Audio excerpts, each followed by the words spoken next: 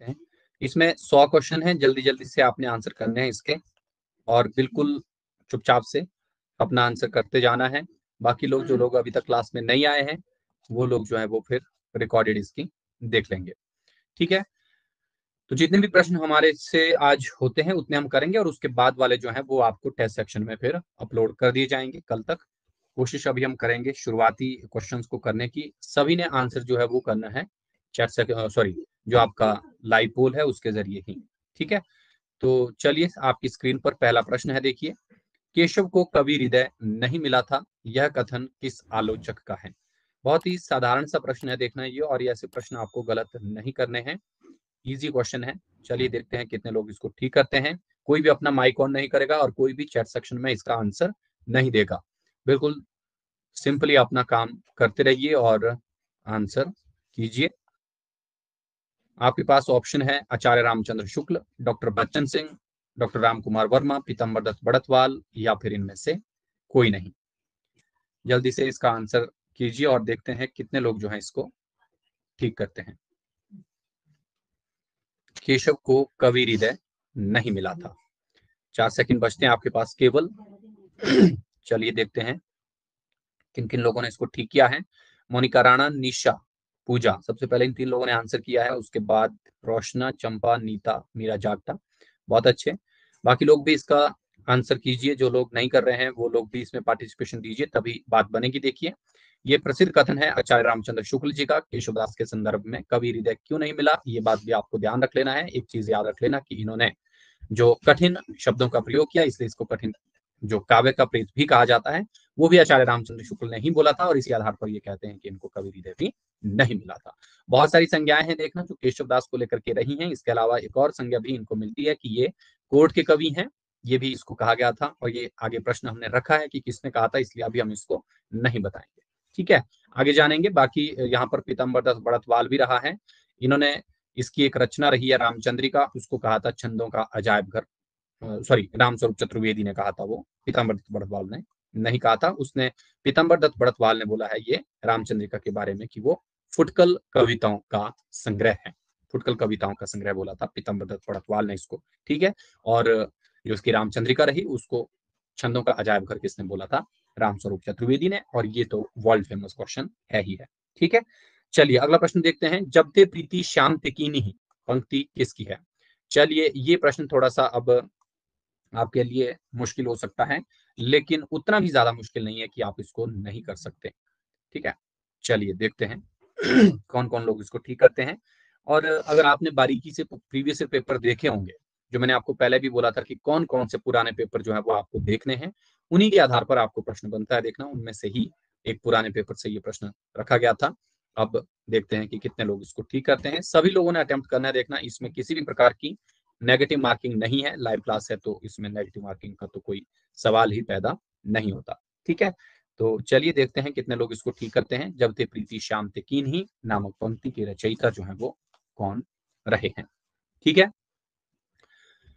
सबसे पहले जो आंसर आया है, पूजा का, फिर ममता का, फिर सेवती, बहुत अच्छे। बाकी लोगों ने इसका आंसर थोड़ा सा गलत कर दिया जिन जिन लोगों ने ठीक किया है, वो अच्छी बात है, जिनका गलत हुआ है वो इसको फिर से देखिए। ये जो पंक्तियाँ देखिए ये है परमानंद दास की दास जो रहे हैं, ये हैं आपके अष्टछापीय कवि। ये ध्यान रख लेना अष्टछाप के कवि हैं देखना ये, और अष्टछाप के कवियों में आपको ध्यान रख लेना है कि किसके ये शिष्य रहे हैं। ठीक है, ये रहे आपके जो देखना वल्लभाचार्य के शिष्य। अष्टछाप में वल्लभाचार्य और विठलनाथ उन दोनों के शिष्य है ना? चार चार वो भी आपको ध्यान में रखना है। और परमानंद दास जो रहे हैं, ये जो हैं, किस प्रकार के लेखन के लिए जाने जाते हैं? बाल मनोविज्ञान के लिए जाने जाते हैं। ये बात भी आपको ध्यान में रखनी है। और बाल मनोविज्ञान से संबंधित जो जो आपकी पद हैं, सूरदास के बाद अगर किसी ने लिखे हैं, देखना छापी कवि ने तो वो परमानंद दास को ही माना जाता है। ये बात ध्यान रखिए। और बाकी यहाँ पर सूरदास, नंददास और रसखान, इनकी पंक्तियाँ भी आप साथ साथ देखते जाना है आप लोगों को। यहाँ पर देखिए जो परमानंद दास है और नंद दास है, मैंने पहले ही बोला कि इनकी पंक्तियाँ उतनी ज़्यादा नहीं है, लेकिन जो जो पंक्तियाँ हैं कुछ एक पंक्तियाँ वो ही इनकी फ़ेमस रही हैं। ये आचार्य रामचंद्र शुक्ल के हिंदी साहित्य के इतिहास नामक ग्रंथ में भी आपको मिल जाएँगी। तो जिस किसी ने भी अगर शुक्ल का हिंदी साहित्य का इतिहास ग्रंथ लिया है तो आप उसको देखिएगा। और इसके अलावा आपको कहाँ पर मिलेगी? पांडे वाली बुक में भी ये पंक्तियाँ जो वो मिल जाएँगी। और ज़रूरी नहीं है कि यही पंक्तियाँ आपको पूछी जाए देखना। आपको जो है बाकियों से भी पढ़नी है और बाकी जो पंक्तियाँ हैं मोटे मोटे तौर पर उनको भी पढ़ते जाना है। ठीक है? नेक्स्ट क्वेश्चन आता है, राम रक्षा स्त्रोत्र के रचयिता कौन है? ये प्रश्न बहुत बार पूछा गया है, एचपी सेट में, पुराने पेपर में ये प्रश्न आया है देखना। तो अब देखते हैं कितने लोग इसको जो है वो ठीक करते हैं। इजी क्वेश्चन है ये, बस इसको भी आपको गलत नहीं करना है। अगर इस प्रश्न को गलत करेंगे तो फिर बहुत पीछे रह जाएँगे। ठीक है? इसलिए इसको देखिएगा आप एक बार। जो राम रक्षा स्तोत्र है, इसके रचयिता कौन रहे हैं? ठीक है? ये ध्यान रखना। बहुत ही आसान, सरल और सपाट सा क्वेश्चन ऐसे ही प्रश्न रहेंगे आपको पीजीटी कमीशन में। बिल्कुल डायरेक्ट क्वेश्चन आते हैं, ज़्यादा से ज़्यादा। उनको करना है। एक बार मैसेज कर दीजिए ग्रुप में, अगर जो लोग अभी तक क्लास में नहीं पहुँचे हैं, उनको भी बोलिए कि जल्दी से आ जाइए, क्लास जो है वो हमारी लाइव हो चुकी है। ठीक है? यहाँ पर निशा, पूजा, नीता, ममता, बहुत अच्छे, सबने बहुत जल्दी इसका जवाब दे दिया है। एक सेकंड में ही कर लिया सबने। बाकियों ने थोड़ा सा टाइम लगा लिया इसमें। चलिए, कोई बात नहीं। बहुत सारे लोगों ने इसको ठीक किया है देखना। कुछ लोग हैं जो इसको गलत कर रहे हैं, एक दो लोग। वो ठीक कर लीजिए इसको। रामानंद की ये रचना है और ये मैंने आपको बताई भी थी देखना। बहुत सिंपल और मैंने दो चीज़, दो नाम बताए थे आपको, भक्ति काल के एक रामानंद और नंददास। इन दो की जो रचनाएँ हैं, वो ज़रूर पूछी जाती हैं। रामानंद के बारे में आपको सब चीज़ें याद रखनी है देखना कि इन्होंने जात पात का खंडन सबसे पहले किया था और भक्ति के मार्ग जो है, सभी जाति के लोगों के लिए जो है इन्होंने खोले थे। ये भी इनकी महत्वपूर्ण बात है और उत्तरी भारत में भक्ति को लाने का जो श्रेय है ये रामानंद को जाता है। रामानंदी संप्रदाय के ये प्रवर्तक रहे। रामानंदी संप्रदाय की जो गद्दी रही वो गलता अजमेर में रही। ये बात भी आपको ध्यान रख लेनी है। और गलता अजमेर में किसने जो है रामानंद संप्रदाय की गद्दी स्थापित की ये प्रश्न आपके लिए है ये आपको ढूंढ के लाना है। ठीक है? चलिए अगला प्रश्न देखते हैं। और जितने भी नाम यहाँ पर हैं देखना और ये जो चिटपुट नाम है इनको भी साथ साथ में पढ़ते रहिए। इनसे संबंधित कुछ महत्वपूर्ण तथ्य हैं। साथ साथ में आपको जानना है। नेक्स्ट क्वेश्चन आता है, रामविलास शर्मा ने तुलसी को निम्न में से कौन सी संज्ञा प्रदान की? चलिए इसको देखिए चैट सेक्शन में आंसर नहीं करना है। मैंने आपको पहले भी बताया था, ठीक है? आपको जो है लाइव पोल में ही आंसर करना है देखना। और इधर उधर आंसर ना करें, रामविलास शर्मा ने तुलसी को निम्न में से कौन सी संज्ञा जो है वो प्रदान की है, ये आपको बताना है। बहुत ही महत्वपूर्ण है ये भी प्रश्न। यहाँ पर जितने भी ये नाम लिखे हैं, देखना ऑप्शन में, इन सभी ने जो आपके गोस्वामी तुलसीदास जी रहे, इनके संदर्भ में कुछ ना कुछ पंक्तियाँ ज़रूर कही हैं, वो आपको देखनी है। इससे पहले जिन लोगों ने भक्ति काल का पहले वाला टेस्ट नहीं दिया देखना, जो सौ प्रश्न जिसमें थे, वो लोग भी इस टेस्ट को अच्छे से देख लें और उसमें थोड़े से अलग प्रश्न थे, वो आपको तैयारियाँ हो जाएँगी उसके लिए भी तो उसको भी साथ साथ में आपको देखते रहना है, आगे भविष्य में हम उसको करेंगे कभी बीच में। डिस्कस अगर टाइम मिलता है तो ठीक है? तो रामविलास शर्मा ने तुलसी को निम्न में से कौन सी संज्ञा प्रदान की? ये आपको देखना है, जिसमें से शिल्पा, सोहन, नीता सेवती बहुत अच्छे। बाकी लोग भी इसका आंसर कीजिए, जो लोग गलत कर रहे हैं, देखना। लगभग फिफ्टी परसेंट लोग इसका आंसर गलत दे रहे हैं और बहुत सारे लोग इसको ठीक कर रहे हैं। यहाँ पर मानस का हंस अमृत लाल नागर ने कहा था, ये बात आपको ध्यान रख लेनी है। स्मार्ट वैष्णव, इसको शुक्ल ने बोला। ये भी प्रश्न इंपॉर्टेंट है, देखना। स्मार्ट वैष्णव और जातीय कवि वैसे शुक्ल ने भी कहा है, लेकिन यहाँ पर रामविलास शर्मा भी आपको याद रख लेना है, ठीक है?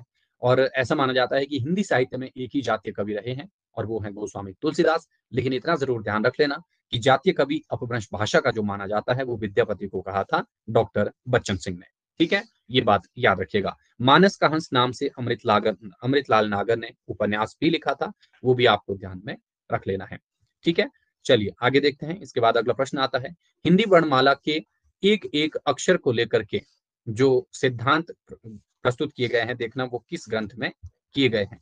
बहुत ही इजी क्वेश्चन है ये। देखते हैं कितने लोग इसको ठीक करते हैं और ये प्रश्न बहुत बार पेपर में पूछा जा चुका है पहले भी, ठीक है? तो इसको एक बार आप कीजिए और बताइए कि इसका आंसर क्या होना चाहिए कि हिंदी वर्णमाला के एक एक अक्षर को लेकर सिद्धांत किस ग्रंथ में प्रस्तुत किए गए हैं। इजी क्वेश्चन है। और इतना आसान प्रश्न गलत नहीं होना चाहिए देखना। सभी लोग इसको ठीक करेंगे और जो लोग गलत करेगा, वो अभी बहुत पीछे है मतलब है ना? फिर बाद में ये मत कहना कि हमसे जो है गलती से हो गया था। गलती नहीं होनी चाहिए। ये इजी क्वेश्चन है। इसमें गलती करेंगे तो फिर नहीं बनेगी बात। निशा, अनन्या, पूजा, सेवती, बहुत अच्छे। तीन, चार लोग अभी भी इसको गलत कर रहे हैं। ऐसा क्यों कर रहे हैं? हम्म पढ़ा नहीं ढंग से, है ना? ढंग से नहीं पढ़ा। भक्ति काल में हमने बहुत बारीकी से इन सब चीज़ों को पढ़ा है, देखना। अखरावट, यहीं से याद रख लेना। अक्षर से अक्षर से याद रख लेना अखरावट, ठीक है? और बहुत ही सिंपल सी चीज़ है देखना इसको याद रखने की। मैंने पहले भी बताया था कि इसको आप ऐसे करके ही याद रखेंगे। अखरावट जो है, ये किसकी रचना है? ये भी आपको पता होना चाहिए। ये है मलिक मोहम्मद जायसी की रचना। मलिक मलिक मोहम्मद जायसी की जो है, आचार्य रामचंद्र शुक्ल ने कितनी रचनाएँ मानी थी, वो भी आपको पता होना चाहिए, ठीक है? एंड इसके अलावा यहाँ पर कौन सी रचनाएँ जो है वो मलिक मोहम्मद जायसी की हैं, जिनको शुक्ल ने मान्यता प्रदान की थी? तो ये अखरावट और आखिरी कलाम है। इसके अलावा इसने पद्मावत को भी माना था कि ये रचना भी शुक्ल ये जायसी की रही है। शुक्ल के अनुसार ये तीन ही है, देखना। कन्हावत और चित्ररेखा, ये अन्य रचनाएँ रही हैं, जो आपको पता होनी चाहिए। ये बताया था मैंने, जो लोग तीन चार लोग गलत कर रहे हैं, वो लोग फिर से देखिए, पुरानी क्लासेस को एक बार नहीं देखनी, बार बार देखिए। सिर्फ़ क्लासेस नहीं देखनी है तो उसके अलावा आपके पास जितने भी जो ग्रंथ हैं, उनको भी ज़रूर देखना है एक बार। तब आपको ये क्वेश्चन याद रहेंगे और ये बहुत फ़ेमस क्वेश्चन है और बार बार पूछा भी जाता है। अब यहाँ पर आता है देखना कि सेनापति जो रहे हैं, जो रीति सिद्ध काव्यधारा के कवि रहे, लेकिन ये भक्ति काल के अंतर्गत भी आते हैं। इनका जो प्रिय अलंकार है, वो किसे माना जाता है? ये वाला प्रश्न आपको ठीक करना है। देखते हैं कितने लोग ये ठीक करेंगे। सेनापति को रीतिकालीन वर्ड्सवर्थ के नाम से भी जाना जाता है। क्योंकि इसने प्रकृति चित्रण से संबंधित जो ग्रंथ हैं वो लिखे थे। ठीक है? अब आपको बताना है कि सेनापति का जो प्रिय अलंकार रहा वो कौन सा अलंकार रहा है? बहुत ही साधारण सा प्रश्न है और ऐसे जो तथ्यात्मक प्रश्न है ये तो गलत नहीं होने चाहिए आपके क्योंकि ये आ, आपको ठीक ही करने और ऐसे प्रश्न जितने भी आपको एग्ज़ाम में मिलते हैं देखना वो सारे के सारे आपको आ, कोशिश करनी है कि हंड्रेड परसेंट उसमें ठीक करें आप। बाकी जो अन्य बातें रहेंगी वो फिर बात की है। चलिए देखते हैं। सेनापति, इतना ज़रूर याद रख लेना कि आचार्य रामचंद्र शुक्ल ने इसको भक्तिकालीन फुटकल धारा में स्थान दिया था।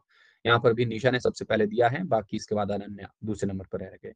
ठीक है? बहुत ही आसान सा क्वेश्चन है ये, शरीर अलंकार है। यहाँ पर देखिए, आधे लोगों ने फिर से गलत कर दिया, इसको मतलब ऊपर ऊपर से पढ़ रहे हैं। ठीक है? देखिएगा ये इस प्रश्न को एक बार फिर से देखना है।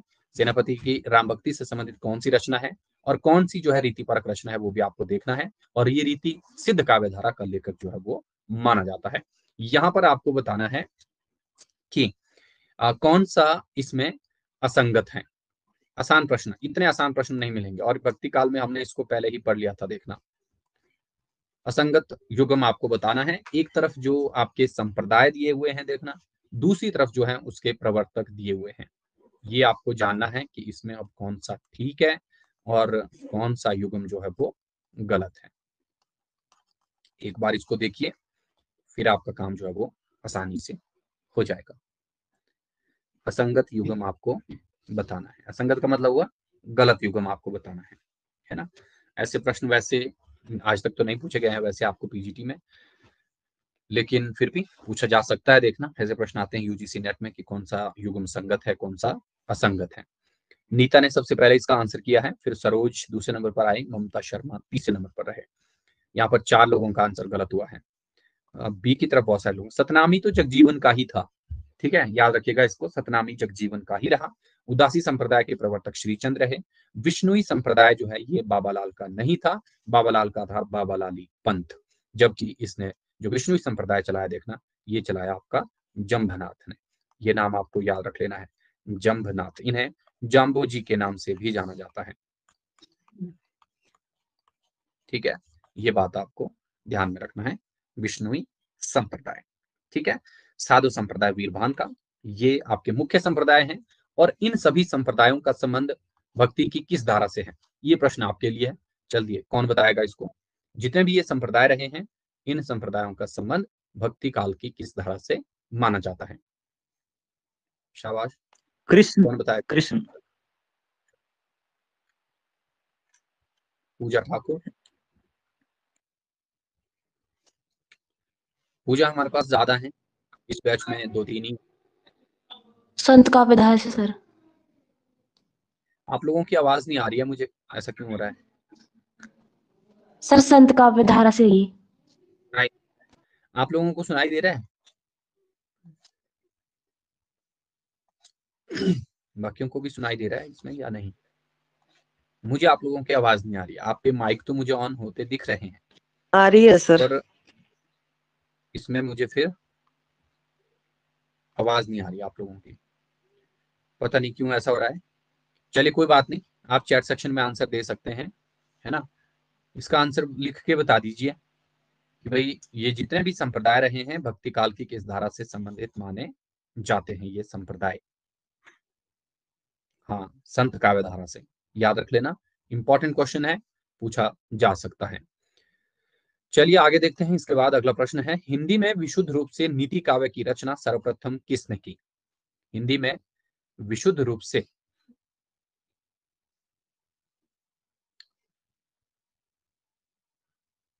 हिंदी में विशुद्ध रूप से नीति काव्य की रचना जो है वो कहाँ से हुई?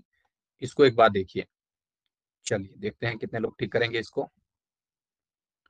नीति काव्य। भक्तिकालीन जो गौण साहित्य है, देखना, वहाँ से ये प्रश्न रखा गया है। इसको आपको एक बार देखना है। भक्तिकालीन गौण साहित्य।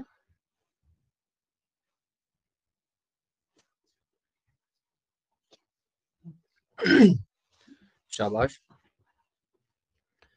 नीति काव्य की रचना, पहले पहल भक्ति काल में किसने की?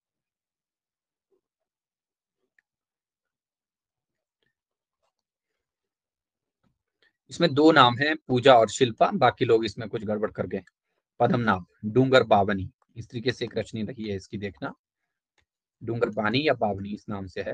उसको देखिएगा, आपको यह मिलेगा भक्तिकालीन गौण साहित्य में। ये वाला प्रश्न, वहाँ से आप इसको देखिए। ठीक है? मुबारक जो रहे हैं देखना, ये किस प्रकार के रचनाकार हैं? ये आप याद रखेंगे कि इनकी दो रचना है अलग शतक और तिलक शतक और ये नीति परक नहीं, बल्कि जो रीति परक कवि है, वैसे आते हैं। जान कवि भी जो है रीति परक ही कवि रहे, जबकि बनारसी दास जैन जो है, ये आत्मचरित लेखन के लिए जाने जाते हैं, ये आप सब लोग जानते ही। हैं इनका नाम भी नीति परक साहित्य के अंतर्गत जो है, वो भक्ति काल में आता है। ठीक है? भक्तिकालीन गौण साहित्य आपको थोड़ा बहुत ज़रूर देखना है।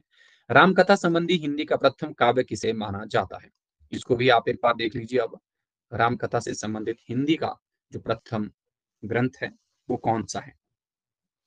एक बार इसको कीजिए। देखते हैं कितने लोग इसको ठीक करते हैं। बहुत ही इजी क्वेश्चन है। ऐसे आसान क्वेश्चन गलत नहीं करने हैं आपको। अगर इन प्रश्नों को गलत कर देंगे तो फिर जो है, गड़बड़ हो सकती है देखना। और गड़बड़ होनी नहीं चाहिए वैसे। शाबाश। कितने लोग करेंगे इसको ठीक? अभी पता चल जाएगा। रामकथा से संबंधित हिंदी का प्रथम काव्य ग्रंथ शाबाश। पूजा, सुमन, अनन्या एंड चंपा। केवल चार लोगों ने ठीक किया इसको, बाकी लोग नौ लोग पौमचर्यु कर रहे हैं। पौमचर्यु जो है, ये ब्रज भाषा में था, हिंदी भाषा में नहीं था। ओ सॉरी ब्रज नहीं था, ये अपभ्रंश में था, मैं क्या बोल रहा हूँ? पौमचर्यु जो है, ये अपभ्रंश में रचित राम कथा रही, प्रथम। लेकिन हिंदी में थी रामायण कथा जो विष्णुदास की है, देखना, इसे प्रथम प्रबंध काव्य भी माना जाता है ये। ठीक है? इसको याद रखिए। इंपॉर्टेंट नाम है ये। रामचरित मानस तो बाद में आया। ये प्रसिद्ध राम काव्य ग्रंथ माना जाता है हिंदी का। सबसे पहला जो प्रथम प्रसिद्ध रचना। ठीक है? और दूसरे नंबर की जो श्रेष्ठ रचना आती है, वो आती है इसके बाद साकेत। ये ध्यान रख लेना। राम काव्य की जो सर्वश्रेष्ठ रचना है, वो रामचरित मानस। दूसरी जो श्रेष्ठ रचना मानी जाती है, वो है साकेत, ठीक है? ध्यान रख लेना। भरत मिलाप जो है, ये भी रचना रही है ईश्वर दास की। हालाँकि राम भक्ति से संबंधित ही रही है, ये भी आप ज़रूर देखें एक बार इसको, ठीक है? चलिए आगे देखते हैं।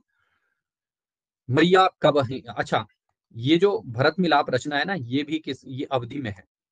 ये ध्यान रख लेना, ये अवधि में है। रामचरित मानस भी आपकी जो है, वो अवधि में ही रही है। याद रखिए। चलिए नेक्स्ट है यहाँ पर, मैया कब ही बढ़ेंगी चोटी? पंक्ति के रचनाकार कौन है? मैया कबही बढ़ेगी चोटी? पंक्ति के रचनाकार कौन है?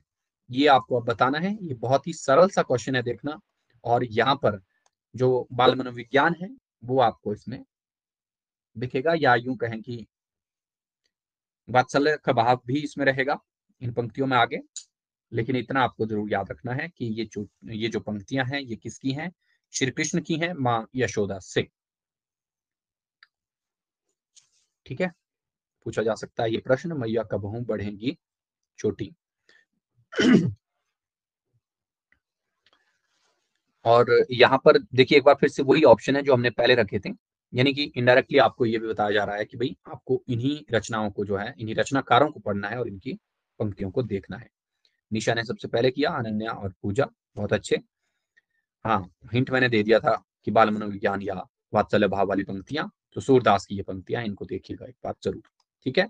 अगला प्रश्न है, शुक्ल ने अग्रदास की कविता की तुलना जो है वो किससे की थी? ये प्रश्न भी ज़रूरी है। इसको देखिए एक बार कि शुक्ल ने जो है वो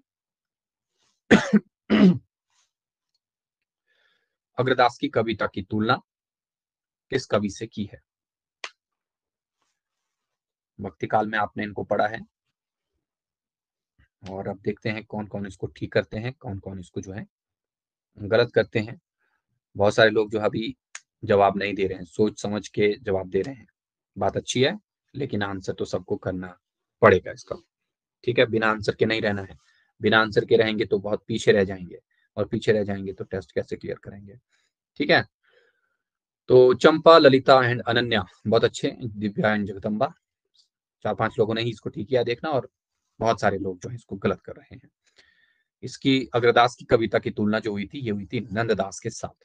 ये ध्यान रखिएगा, नंददास की कविता के साथ इसकी तुलना इसने की थी। ठीक है? ध्यान रखना है, महत्वपूर्ण है ये प्रश्न। ओके? नेक्स्ट प्रश्न आता है, हिंदी में भक्तमाल परंपरा का सूत्रपात। आँख बंद करके आप इस क्वेश्चन का आंसर देंगे। कोई भी इसमें कोताही नहीं बरतेगा और जिसने गलत किया इसको, वो बहुत पीछे अभी। और इतना पीछे है कि उसको अभी ज़ीरो से पढ़ना पड़ेगा, शुरुआत से पढ़ना पड़ेगा। ये प्रश्न न जाने कितनी बार पूछा जा चुका है देखना। और इसको गलत करेंगे तो फिर बात नहीं बनेगी। अगर बात नहीं बनी तो कैसे बनेगी बात? है ना? तो यहाँ पर बताइए इसमें कि भक्तमाल परंपरा का सूत्रपात हिंदी में किस से किस से माना जाता है? बहुत इजी क्वेश्चन है। सारे लोग आंसर कीजिए, दस बारह लोग अभी भी आंसर नहीं कर रहे हैं देखना इसका। जो लोग आंसर नहीं कर रहे हैं, उनको देख लेते हैं पहले कौन कौन लोग जो है वो आंसर नहीं कर रहे हैं। मीरा जागटा नीता, रुचि, पूजा ठाकुर, दिव्या एंड मोनिका। आंसर कीजिए सारे लोग। आंसर करना है आपको, है ना? इसका आंसर देखिए गलत चार लोगों ने किया। हे हे भगवान, ऐसा क्या हो गया इसमें? ये तो गलत होने की, इसमें तो होना ही नहीं। अग्रदास से कहाँ से आ गया आपका भक्तमाल? भक्तमाल नावादास ने लिखी थी सबसे पहले, उसके बाद नव भक्तमाल लिखी गई, उसके बाद भक्त नामावली ऐसी ऐसी रचनाएँ लिखी है ना। तो ये ध्यान रख लेना है है ना? फ़ोन नहीं चल रहा है, ऐसे कैसे नहीं चल रहा है? फ़ोन को चलाइए, फ़ोन अगर रुक जाएगा तो फिर क्लास कैसे लगेगी, है ना? फ़ोन को चलाते रहो। ओके, ये नावादास की भक्तमाल है और ये तो बिल्कुल शुरुआत में आपने पढ़ा था, देखना जब हम इतिहास ग्रंथों, ये जो आधारभूत स्रोत ग्रंथ रहे हैं, वहाँ पर ही हमने पढ़ लिया था कि भाई इसकी, इसके आधार पर ही तो बाद बाद में साहित्य रचा गया था लेखकों के द्वारा, ठीक है? कितने भक्त कवियों का परिचय मिलता है भक्तमाल में। ये कौन बताएगा? मैसेज में टाइप कीजिए आवाज़ तो आपकी आ जा नहीं रही है। सिग्नल नहीं है। चलिए सिग्नल तो अब क्या कर सकते हैं? सिग्नल के लिए तो मैं आपको कुछ भी नहीं कर सकता। सिग्नल मेरे पास भी बड़ा आ, मुश्किल से आजकल ठीक चल रहा है नहीं तो वाईफाई भी नहीं चल रहा था। ममता कह रहे हैं बिल्कुल सही बात है। 200 भक्त कवियों का परिचय तीन सौ छप्पे छंदों में। ठीक है? 200 भक्त कवियों का परिचय तीन सौ छप्पे छंदों में। ठीक है? ये ध्यान रख लेना है। मोस्ट इंपॉर्टेंट नाम है। आपको आ सकता है यहाँ से। भाषा सर्वेक्षण, बहुत इजी क्वेश्चन इसमें भी ज़्यादा टाइम नहीं लगाना है। ठीक है? भाषा सर्वेक्षण। इसकी रचना है। बहुत ही आसान और जब हम हिंदी भाषा उत्पत्ति और विकास और वैश्विक भाषाओं के बारे में पढ़ रहे थे देखना, उस वक्त हमने इस ग्रंथ के बारे में विस्तार से पढ़ा था। और इसको भी अगर गलत करेंगे तो फिर उन लोगों को कुछ तो बोलना पड़ेगा भाई। बिना बोले नहीं चलेगा काम, है ना? चलिए जल्दी से कीजिए इसको। अभी तेरह ही प्रश्न हुए हैं देखना, और आधा घंटा हमारा बीत चुका है। मुझे लग रहा है ऐसे करके तो हमारे सिर्फ़ पच्चीस ही प्रश्न इसमें हो पाएँगे। बाकी जो है टेस्ट सेक्शन में ही आपको देने होंगे, ठीक है? तो वो आपको अपलोड कर दिया जाएगा, उसको उसके बाद देख लेना है। ललिता, सुशीला, मोनिका एंड मीरा जागटा बहुत कम लोग इसको ठीक कर रहे हैं। भाषा सर्वेक्षण, जॉर्ज ग्रियर्सन। इजी क्वेश्चन था ये। The linguistic survey of India the linguistic survey of India that's it ये इसका अंग्रेज़ी रूप है और हिंदी में इसका नाम था भाषा सर्वेक्षण। ये बात आप ध्यान में रखिए। George Grierson.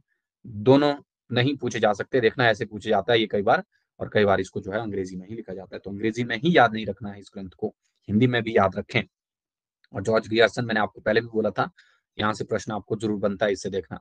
George Abraham Grierson पूरा नाम था इसका, ये भी आता है। जॉन क्राइस्ट भी महत्वपूर्ण नाम है, भोलानाथ तिवारी और हेमचंद्र सारे ही मोस्ट हैं। मतलब कहने का अभिप्राय ये है कि इनको आपको पढ़ना पड़ेगा। नेक्स्ट क्वेश्चन है, अमृत की वर्षा करने वाला कवि किसे कहा जाता है? ये भी बहुत आसान सा क्वेश्चन है, इतने आसान क्वेश्चन आप अगर गलत करेंगे तो फिर कैसे चलेगा? गलत नहीं होने चाहिए ये प्रश्न। गलत करेंगे, बहुत पीछे रहेंगे, मैं बार बार आपको बता रहा हूँ, देखना। और इतने पीछे रह जाएँगे कि आप रेस में ही पिछड़ जाएँगे। तो इनको गलत नहीं करिए। इतना टाइम मैंने आपको दिया था। इवन मैंने दो दिन पहले बोला था कि आपका टेस्ट परसों होगा, पर परसों नहीं हुआ। आपने फिर भी नहीं पढ़ा तो उसमें अब क्या कर सकते हैं? ऐसा भी नहीं है कि बिल्कुल बाहर से ये रख दिए। वही प्रश्न है जो हमने डिस्कस किए हुए हैं और जो हमने पहले पढ़े हुए हैं। ठीक है? गलत नहीं होनी चाहिए ये। और प्रश्नोत्तरी करने का मतलब यही होता है कि जब आपको प्रश्नोत्तरी के लिए तैयार किया जाता है तो उसका मतलब ये होता है कि आप जो है उसी बहाने पूरे के पूरे टॉपिक्स को, बाकियों को भी पढ़ लें, ठीक है? तो ये चंपा पूजा शिल्पा ने ठीक किया है। अमृत की वर्षा करने वाला रसखान को कहा जाता है। यानी कि इसको और क्या कहेंगे हम? पीयूष वर्षीय मेघ। ये ध्यान रख लेना है पीयूष वर्षीय मेघ। बाद में अमृत की वर्षा करने वाला कवि अगर बिहारी को बोला तो वो केवल एक ही लेखक ने कहा है, वो है राधा चरण गोस्वामी, जिन्होंने बिहारी को बोला कि वो अमृत की वर्षा करने वाला कवि रहा है। ये प्रश्न भी आपको ध्यान रख लेना है देखना, गलत नहीं करना है इसको। लेकिन सर्वमान्य मतानुसार सभी विद्वानों ने जो है, एक मत होकर अगर किसी को बोला कि ये जो है, अमृत की वर्षा करने वाले कवि या फिर पीयूष वर्षीय मेघ हैं तो आपको सिंपल याद रख लेना, ये रसखान को कहा गया है। रसखान का जो मूल नाम था, वो क्या था? ये किसी को पता है? रसखान का मूल नाम। इसको लिख लीजिए। किसी को अगर मालूम है तो वो इसको बता सकता है। अगर भूल गए हैं तो इसको देखिए, बहुत ही आसान सा प्रश्न है ये। सैयद इब्राहिम नहीं बता रहे हैं। भूल चुके हैं सब कुछ, है। ऐसा लग रहा है मुझे। भक्ति का सर्वप्रथम उल्लेख किसमें मिलता है? ये आपको बताना है अब, भक्ति का सर्वप्रथम उल्लेख जो है वो किस ग्रंथ में मिलता है। शाबाश। भक्ति का सर्वप्रथम उल्लेख।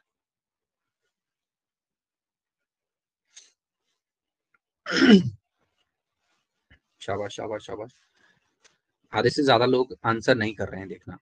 वो देख ही रहे हैं। नेटवर्क ला रहे हैं। नेटवर्क ला रहे हैं तो अच्छा है। अगर सिर्फ़ देख रहे हैं चुपचाप तो फिर देखते रहिए। लेकिन क्लिक भी कर लीजिए। क्लिक करने का कुछ नहीं जाता। है ना?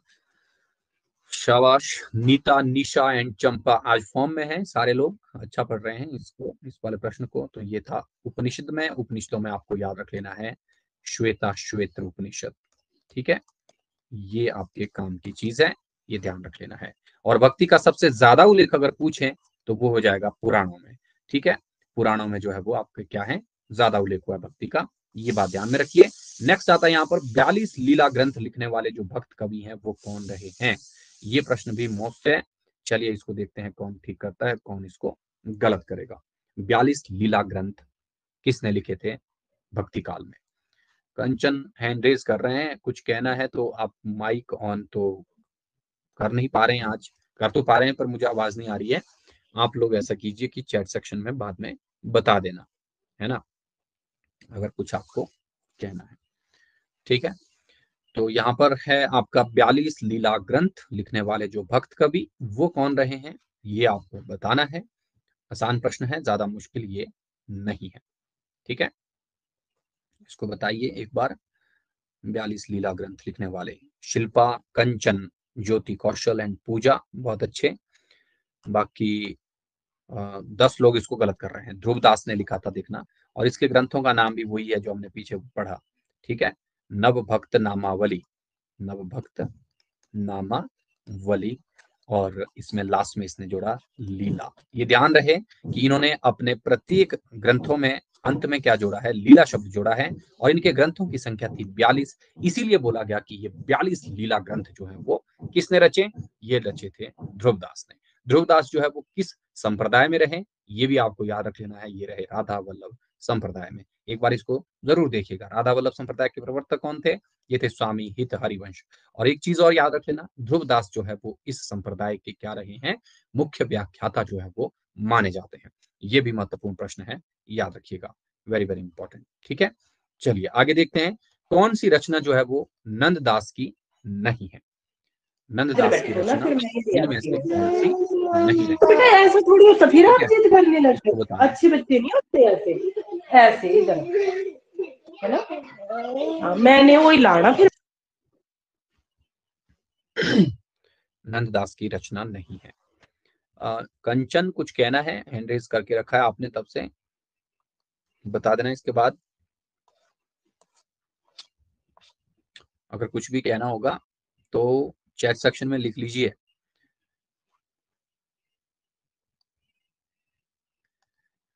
यहाँ पर लिखा है, कौन सी रचना नंददास की है?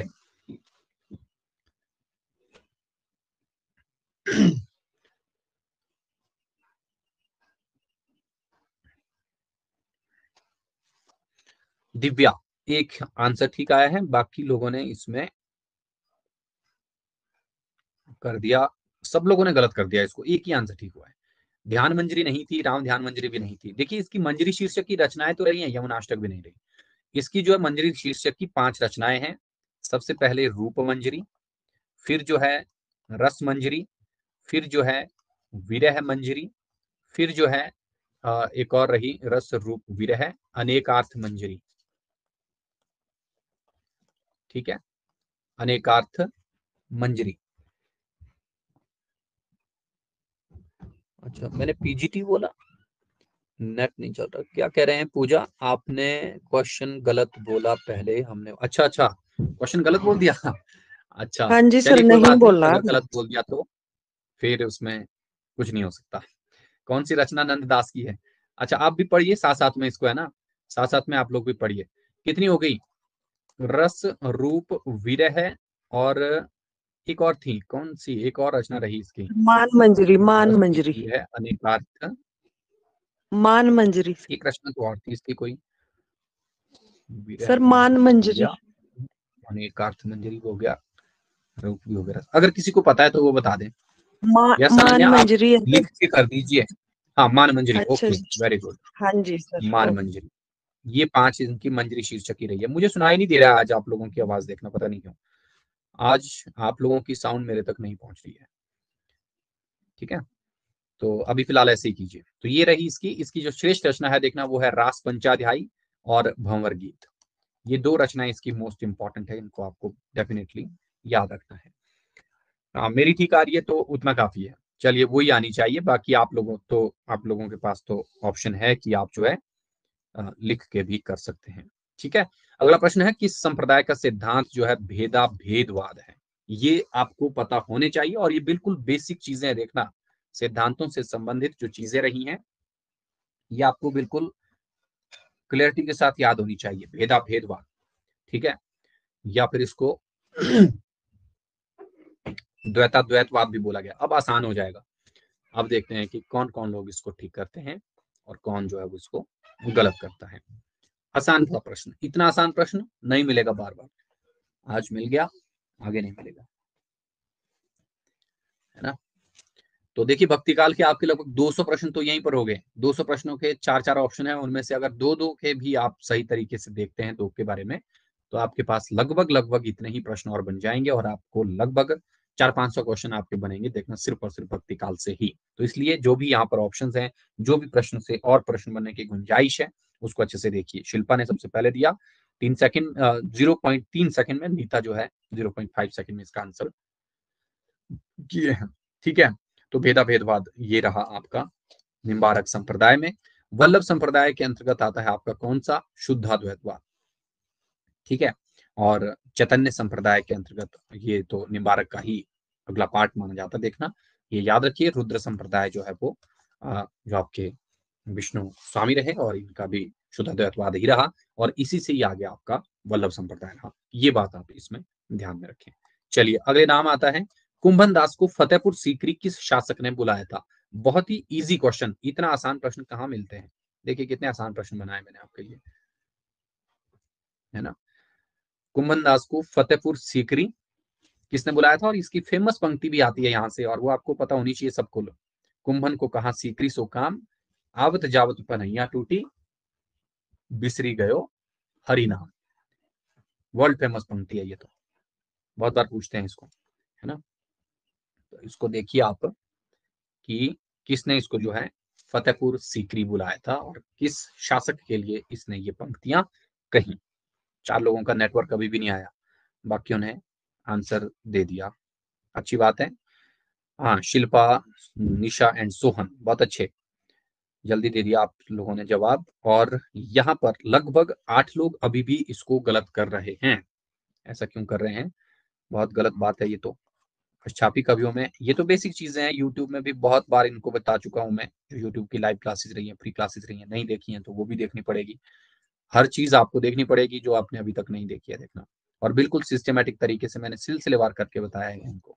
अकबर ने बताया था फतेहपुर सीकरी उस वक्त इसकी क्या हुआ करती थी? राजधानी हुआ करती थी। ठीक है? तो इसको याद रखना। ओके? चलिए, आगे देखते हैं। अब ममता भी कुछ कहना चाह रहे हैं, पर आप माइक ऑन कर तो रहे हैं। अभी तो मुझे सुनाई नहीं दे रहा है। शायद रिकॉर्डेड में आप लोगों की आवाज़ आ जाए तो अच्छी बात है है ना? अगर रिकॉर्डेड में भी नहीं आई तो फिर दिक्कत है। चलिए, कोई बात नहीं। कुछ कहना है तो आप चैट सेक्शन में कहिए। यहाँ पर मुझे कुछ भी आपकी बात का पता नहीं चल रहा है। ठीक है? तुलसी चरित के रचयिता कौन है? ये प्रश्न तो आसान है। तुलसी चरित के रचयिता कौन है? इजी क्वेश्चन इतना आसान प्रश्न, फिर से देखिए, बहुत आसान क्वेश्चन है। एक बार इसको कीजिए। तुलसी चरित के लेखक कौन है? तुलसी चरित तुलसीदास को जानने के लिए एक है तुलसी चरित और एक है मूल गोसाई चरित ये दो रचनाएँ बड़ी प्रसिद्ध रचनाएँ मानी जाती हैं। जब भी हम तुलसीदास का जीवन परिचय जानते हैं तो इन दो ग्रंथों का सहारा जो है वो ज़रूर लिया जाता है। ये मैंने आपको बताया था और इन दोनों ग्रंथों के रचनाकारों के बारे में भी मैंने आपको बोला था कि वो आपको पता होने चाहिए। लेकिन फिर भी यहाँ पर बहुत सारे लोग जो है गलत कर रहे हैं, इसका आंसर देखना और इतनी बड़ी गलतियाँ अगर आप करेंगे तो फिर पता नहीं चलेगा। ममता कह रहे हैं कि क्वेश्चन शो नहीं हो रहे हैं। रिज्वाइन करके देखिए, आपको उसके बाद जो है वो शो हो जाएँगे। शिल्पा, नीता, सोहन, अनन्या। बहुत अच्छे। जिन लोगों ने इसको सही किया है और जो लोग गलत कर रहे हैं इस प्रश्न को, उनको अभी पढ़ने की ज़रूरत है देखना। बेनी माधव दास की थी मूल गोसाई चरित मैंने तभी तो बताया था आपको। बेनी माधव दास की क्या है? मूल गोसाई चरित है। ठीक है? ये है आपका रघुवर दास। ऑप्शन नंबर डी, इसकी थी तुलसी चरित इनको ध्यान रख लेना है। ठीक है? चलिए, अगला प्रश्न देखते हैं, पद्मावत के किस भाग को आलोचकों ने काल्पनिक माना है? जो पद्मावत का कौन सा भाग है देखना, जिसको आलोचक ये मानते हैं भाई कि ये कैसी है, ये काल्पनिक, ये जो इसका काल्पनिक भाग रहा है। ये रहा आपके सामने ऑप्शन और देखते हैं कितने लोग इसको ठीक करेंगे, कितने लोग इसको जो है वो गलत करेंगे। पद्मावत, मलिक मोहम्मद जायसी 20 वर्ष इसकी रचना में लग गए थे। 1520 से लिखना स्टार्ट किया 1540 में इसने इसको समाप्त किया, ठीक है? और एक चीज़ और ध्यान रख लेना कि जो मलिक मोहम्मद जायसी रहे, उसने बोला कि जो मधुमालती है, देखना वो पद्मावत से पहले की है। लेकिन हम आज के समय में मधुमालती को 1545 की ही रचना मानते हैं। तो पद्मावत अवधि का श्रेष्ठ काव्य और सबसे बड़ा प्रतीकात्मक महाकाव्य है, ये चीज़ आप याद रखें। यहाँ पर सात लोगों ने गलत किया इसको। निशा ने सबसे पहले दिया जवाब, जगदम्बा, अनन्या, पूजा और सोहन। बहुत अच्छे। बाकी लोगों ने भी जिन्होंने अच्छा किया है, वो अच्छी बात है और जिन्होंने गलत किया है, वो इसको ठीक कर लीजिएगा। इसका पूर्वार्ध भाग जो है, वो थोड़ा सा काल्पनिक माना जाता है और उत्तरार्ध भाग को माना जाता है कि ये थोड़ा सा ऐतिहासिक है। ये ध्यान रख लेना है, ये महत्वपूर्ण बातें हैं इसके बारे में देखना। कई बार ये प्रश्न आता है। पद्मावत की प्रतीक योजना आप सब लोगों को पता होनी चाहिए। मैंने जैसे पहले आपको बताया कि ये प्रतीकात्मक महाकाव्य है, ठीक है? ध्यान रख लेना, पद्मावत से संबंधित बहुत सारे तथ्य बनते हैं और वो सारे के सारे आपको थोड़े थोड़े जो है वो ज़रूर पढ़ने हैं। पद्मावत में बहुत सारे प्रश्न बन सकते हैं आपको देखना, ठीक है? इसकी पंक्तियाँ भी आपको पूछी जा सकती हैं और पूछा जा सकता है कि जो आपके मलिक मोहम्मद जायसी रहे हैं, उनकी प्रसिद्धि का आधार ग्रंथ कौन सा रहा है? तो ये भी यही होगा, ठीक है?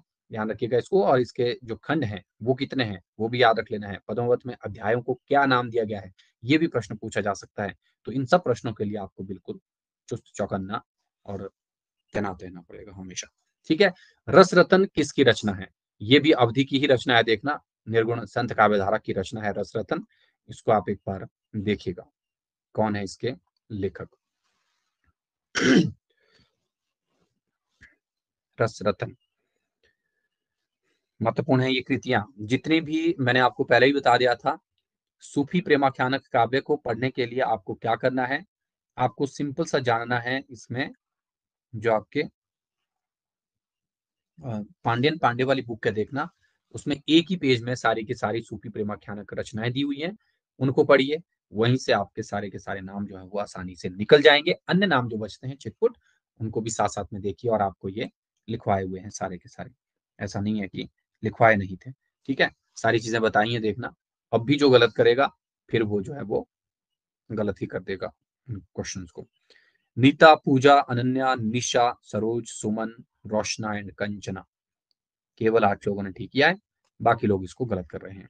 नारायण दास की थी छिताई वार्ता। एक ही तरफ़ बहुत सारे लोग गए देखना। छिताई वार्ता नामक ग्रंथ इसका लिखा, ग्रंथ है। ठीक है? ये रचना थी पोकर कवि की रचना। ठीक है, ये ध्यान रख लेना आपको पुहकर कवि की है रस, रतन। इसके अलावा कासिम शाह, ये बहुत महत्वपूर्ण नाम है, इसको भी आप देखना है। आचार्य रामचंद्र शुक्ल ने जो है इसकी आलोचना की, इसने बोला कि ये अच्छे ग्रंथकार जो है वो नहीं रहे। ठीक है, ये ध्यान रखना है आपको। आगे देखते हैं, इसके बाद अगला प्रश्न क्या आता है?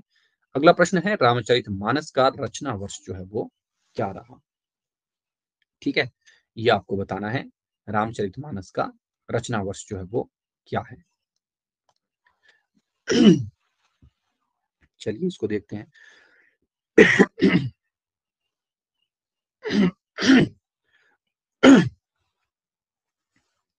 बहुत ही इजी क्वेश्चन है देखना। रामचरित मानस से संबंधित भी आपको जो है वो पता होना चाहिए।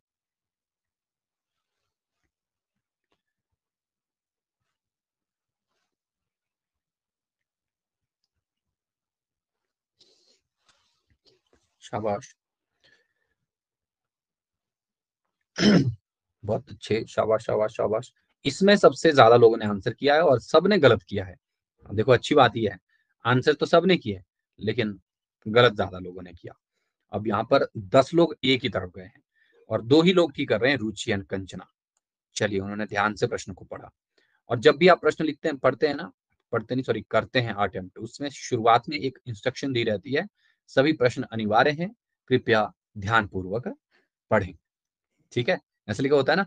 तो आपको यहाँ पर देखना था कि इसका रचना वर्ष क्या है? ये तो प्रश्न बिल्कुल ठीक है, प्रश्न में नहीं था। लेकिन यहाँ पे ध्यान से देखना था। विक्रमी संवत बोला गया है। ये विक्रमी संवत नहीं था। ये डेट तो आगे ठीक लिखी हुई है कि पंद्रह है, लेकिन वो ईसवी सन है। ईसवी सन को अगर हम तब्दील करेंगे किसमें? अगर हम इसको तब्दील करेंगे आपके विक्रमी संवत में तो ये हो जाएगा 1631 क्योंकि विक्रमी संवत तो आगे चलता है ना? और ईसवी सन जो है वो उसके पीछे आएगा। ठीक है? तो ये ध्यान रख लेना, कितने वर्ष जुड़ते हैं इसमें? सत्तावन वर्ष जुड़ते हैं, प्लस सत्तावन कर दो, आगे आपका ये आ जाएगा। ठीक है? तो सोलह कहीं भी आपको ईस्वी नहीं है विक्रमी में दिया है तो ये ध्यान रख लेना। विक्रमी अगर होता तो ये हो जाना था आपका सोलह ठीक है? ध्यान रख लेना इंपॉर्टेंट क्वेश्चन था, याद रखिएगा। लास्ट टाइम यहाँ से प्रश्न पूछा गया था कि रामचरित मानस को लिखने में जो है वो कितना समय लगा है। ठीक है? तो इसके लिए दो वर्ष, सात महीने और ग्यारह दिन का जो समय था। ग्यारह दिन? या छब्बीस दिन, ऐसा कुछ, है ना? उसको देखिएगा। ओके तो ये आपको देखना है। ये इंपॉर्टेंट क्वेश्चन है रामचरित मानस से संबंधित, ठीक है? चलिए, आगे देखते हैं, अगला प्रश्न क्या है? अगला प्रश्न रहा आपकी स्क्रीन पर, ये वाला। पद्मावत में श्रद्धा जो है वो किसकी प्रतीक है? मैंने पहले भी बताया ना कि पद्मावत की प्रतीक योजना जो है, ये बहुत महत्वपूर्ण है और हिंदी साहित्य में सबसे बड़ा जो प्रतीकात्मक ग्रंथ अगर किसी को माना जाता है देखना या प्रतीकात्मक महाकाव्य जिसको माना जाता है, वो कौन है? वो है आपका पद्मावत ही, ठीक है? तो इसको देखिए आप एक बार कि पद्मावत में जो है श्रद्धा का प्रतीक कौन है? श्रद्धा का प्रतीक। ये रहा आपके सामने। लाइव पोल, और देखते हैं कितने लोग इसको ठीक करेंगे।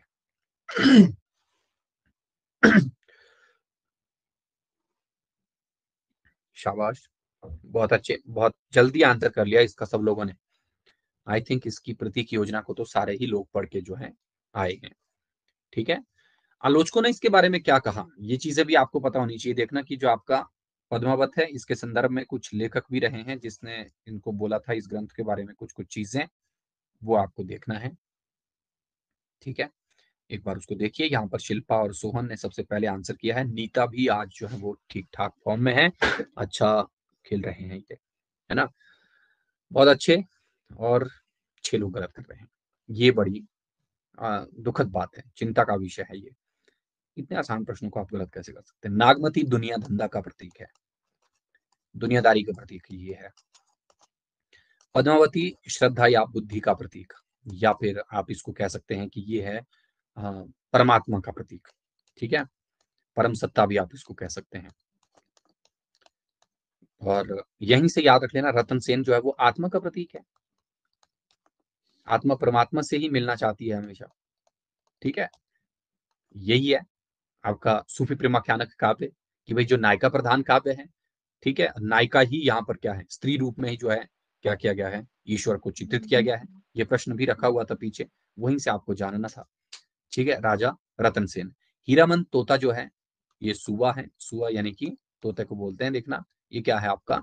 इसमें गुरु का प्रतीक है। ये है। इसमें और कौन बचता है? अलाउद्दीन खिलजी किसका प्रतीक है? शैतान। खिलजी जो है। शाबाश। बताइए बताइए। सर माया का। शैतान माया। शैतान नहीं है सोहन कह रहे हैं कि शैतान। शैतान का प्रतीक जो है वो है राघव चेतन। ठीक है? राघव चेतन जो है ये शैतान के प्रतीक ठीक है? ये ध्यान रख लेना। ओके? ये होगी इसकी प्रतीक योजना। सिंहलदीप किसका प्रतीक है? ये भी तो है इसमें एक क्वेश्चन सिंहलदीप। श्रीलंका है। वो किसका प्रतीक है? शरीर। आप लोगों की आवाज़ नहीं आ रही आज। हृदय का पता नहीं क्या ही हो गया। हृदय का प्रतीक है ये ठीक है? ये याद रख लेना ये बहुत ज़रूरी है। इसको देखना और इसको लेकर के पद्मावत में एक पूरा का पूरा इसने एक दुआ एक दुआ चौपाई भी रखी है इसने पूरी लिखी है ठीक है? उसको देख देखिएगा आप लोग वहाँ से आपको ये हो जाएगा ठीक है? चलिए आज का आखिरी प्रश्न आपकी स्क्रीन पर। निर्गुण संतों में शामिल महिला या महिलाएँ? कौन है? चलिए इसको बता दीजिए एक बार। इसका आंसर क्या होगा? निर्गुण संतों में शामिल महिला या महिलाएँ? शाबाश शाबाश शाबाश।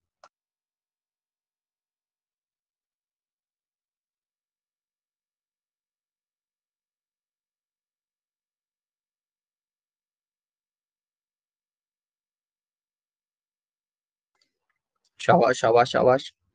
आखिरी प्रश्न है और इसमें कोशिश कीजिएगा कि सारे लोग करें और इसको अच्छा करें, सही करें, गलत मत करें, है ना? ये थोड़ा सा सोच में पड़ने वाला क्वेश्चन है। इसमें तो एक पल के लिए हम भी सोच में डूब गए थे।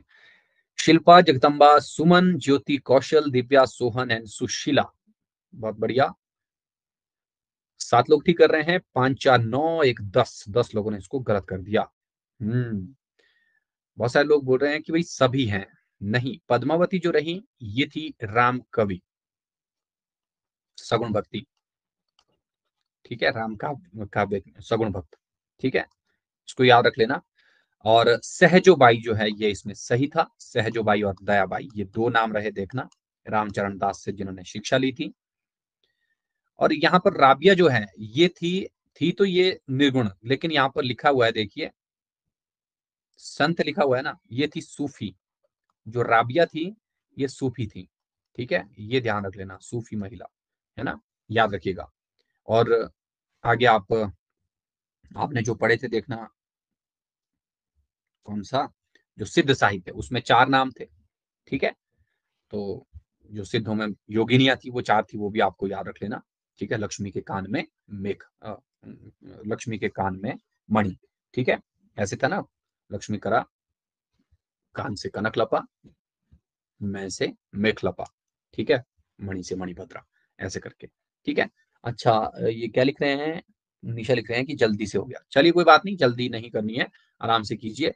और आई होप कि आप समझ गए होंगे इस प्रश्न को। ये सगुण भक्ति हो गई, राबिया जो है सूफी थी, और संत जो थी दयाबाई हो गई। सॉरी सहजोबाई हो गई। ठीक है? इनको देखिए। ये थे आज के 25 क्वेश्चन बाकी 75 क्वेश्चन जो हैं, लेकिन उसमें ये पीछे के 25 भी रहेंगे। पूरे के पूरे रहेंगे ये सारे के सारे क्वेश्चन देखना। उनको आप टेस्ट सेक्शन में करना। कल शाम तक अपलोड करना।